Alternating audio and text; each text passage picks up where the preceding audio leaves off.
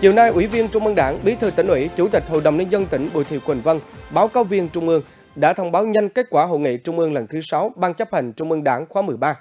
Dự hội nghị có Phó Bí thư tỉnh ủy Đinh Thị Hồng Minh, các ủy viên Ban Thường vụ tỉnh ủy, ủy viên Ban chấp hành Đảng bộ tỉnh, lãnh đạo các cơ quan địa phương, đơn vị và các báo cáo viên Trung ương, báo cáo viên cấp tỉnh.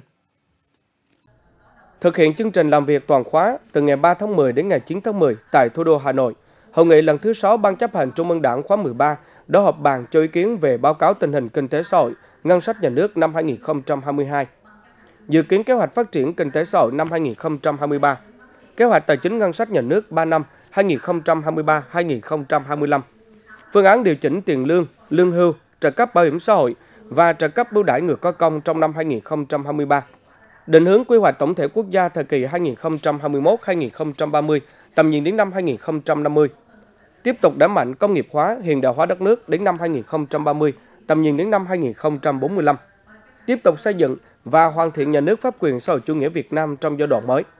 Tổng kết 15 năm thực hiện nghị quyết Trung ương năm khóa 10 về tiếp tục đổi mới phương thức lãnh đạo của Đảng đối với hệ thống chính trị. Hội nghị Trung ương 6 cũng báo cáo những công việc quan trọng Bộ Chính trị đã giải quyết từ sau Hội nghị Trung ương 5 đến Hội nghị Trung ương 6 và một số nhiệm vụ trọng tâm từ Hội nghị Trung ương 6 đến Hội nghị Trung ương 7 khóa 13. Báo cáo công tác tài chính đảng năm 2021, công tác cán bộ. Trên cơ sở những nội dung quan trọng cốt lõi của Hội nghị Trung ương 6 khóa 13, Ủy viên Trung ương Đảng, Bí thư tỉnh ủy, Chủ tịch Hội đồng Nhân dân tỉnh Bùi Thị Quỳnh Vân yêu cầu các cấp ủy đảng tập trung tuyên truyền sâu rộng trong cán bộ, đảng viên, hội viên và các tầng lớp nhân dân về các nghị quyết kết luận mà Hội nghị Trung ương 6 đã ban hành. Cụ thể hóa và thực hiện thành công các nghị quyết kết luận đã được hội nghị thông qua, phấn đấu hoàn thành kế hoạch phát triển kinh tế xã hội năm 2023, góp phần thực hiện thắng lợi nghị quyết đại biểu toàn quốc lần thứ 13 của Đảng.